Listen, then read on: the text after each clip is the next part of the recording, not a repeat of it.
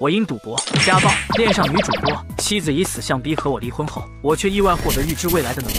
你小子还真神了！昨晚九点左右，海宁集团被爆出食品检测问题。那龙哥，既然有了结果，那你该打钱了吧？把你的银行账号发过来，我这就把钱给你转过去。电话挂断之后，我很快就收到了入账短信，十万块钱，一分不少。有了这笔启动资金，我也立刻来了底气。第二天一早，我来到体彩中心，老板，这是十万，给我买中国对巴西三比一。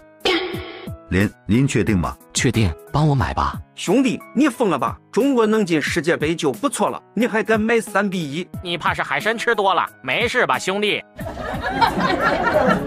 今晚就是世界杯的开幕赛，根据我预测的能力，国足已然崛起，这钱我赚定了。对于他们的嘲笑，我并没有理会。买完票后，我来到门口，拨通了唐小龙的电话。龙哥，想赚钱吗？有什么好买卖说来听听。你就说你现在能动用多少资金？嗯。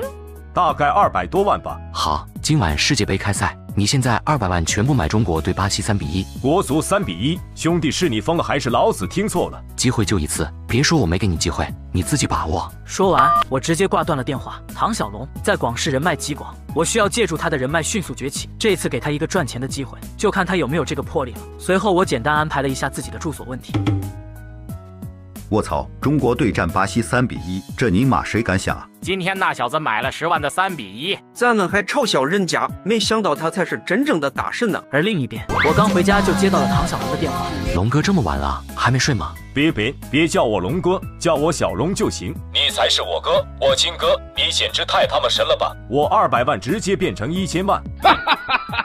我也赚了一百九十多万，待会就把欠你的钱还给你。还个屁！你要想和我两清了，那就把欠款还我。从此以后，咱们大道朝天，各走一边。要是你还认我这个兄弟，就别给我提钱。行吧，那就多谢了。对了，我老婆每个月还是会按时来还款。龙哥，你应该知道怎么做吧？知道，知道。不过老弟在这方面还是要说你两句。嫂子那人我之前也调查过的，全世界恐怕再难找出第二个了。你可别错过人家了。所以这次我一定会给他最好的人生。隔天一早，我拎着大包小包的东西来到一间老旧的出租屋外。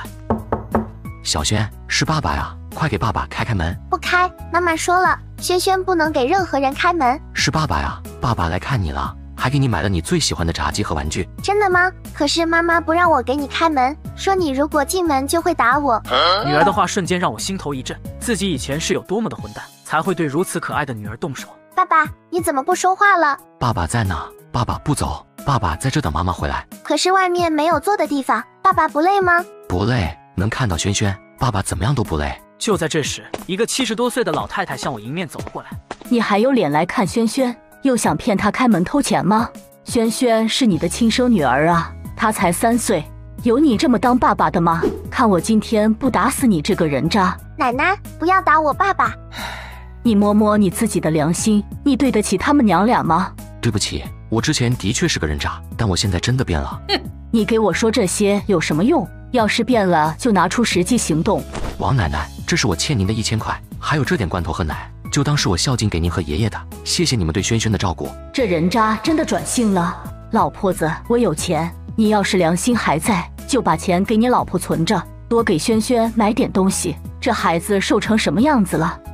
王奶奶，前几年我自甘堕落，畜生不如，幸好有你们二老照顾着佳佳娘俩，这份恩情我林铭记在心里了。我不缺你这一两句忏悔，苦海无涯，回头是岸。你要是真心想改过了，道歉的话留给佳佳和轩轩吧。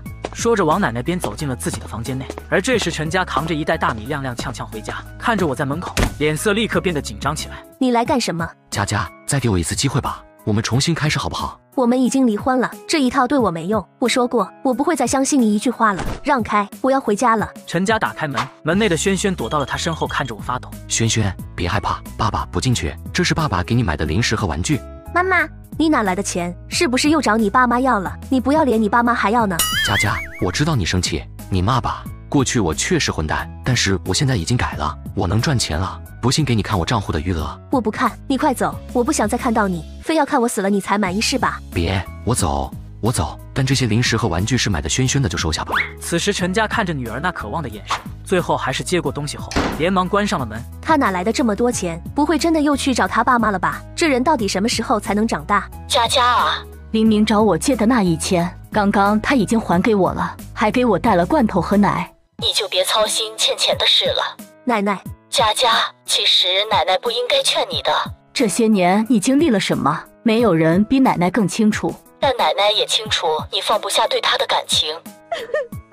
可是奶奶，我都给过她好多次机会了，她永远改不了。好孩子，不哭不哭了。奶奶只是想说些话，让你压力小一些。你要是伤心，咱们就不聊这个了。又让您见笑了，奶奶。有什么见笑的？快去吃饭吧，身体要紧。谢谢你，奶奶。而当陈家挂断电话后，客厅里轩轩却突然大声喊道：“哇，妈妈，你快看，这袋子里有好多钱，